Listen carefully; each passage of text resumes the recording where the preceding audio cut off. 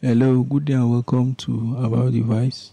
Today we are going to be learning how to disable a key on the keyboard using a tool or software KeyTweak.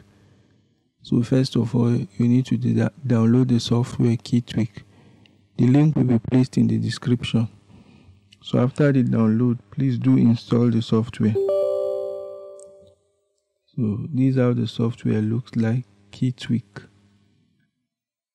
So it's a very simple and light software that gives one the ability to to disable a key on the keyboard. So let's assume this is the keyboard framework as seen here. So let's assume I want to disable any key. I just have to select the key I want to disable. So let's say I want to disable the caps lock that is here. So first of all, you have to select the key. The key will, sh will show up here so if you want to disable the key you can see any key you click on the name will show up here.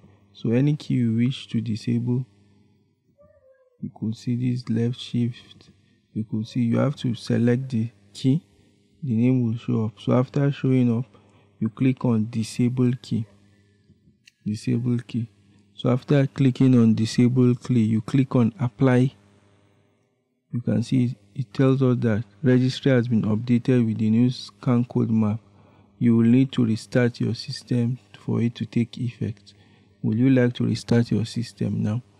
So it requires system restart for the key to be disabled. Once you click on yes, the system will be restarted and on it being started back, the key you selected will be disabled. So thanks for watching this tutorial. Hope you've learned how to disable a key on your keyboard using the software KeyTweak. Please like, share and subscribe. Thank you.